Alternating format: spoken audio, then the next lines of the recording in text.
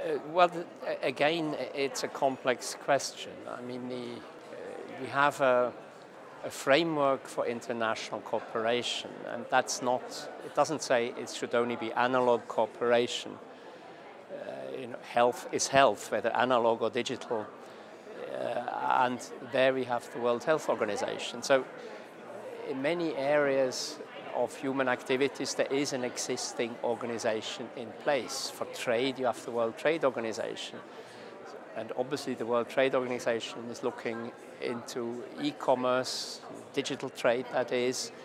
Uh, uh, the problem we have is then quite often these organizations don't talk to each other, or the problem starts at the national level, where the people who go to one organization don't necessarily talk to the people who go to another organization.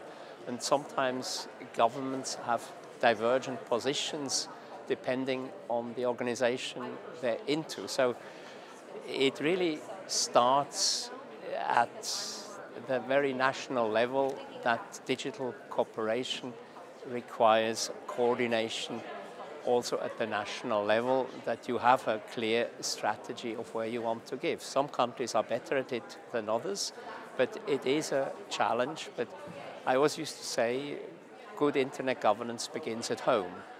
And if you want to get better global cooperation, uh, then you need to really to be sure that you get your act together at the national level.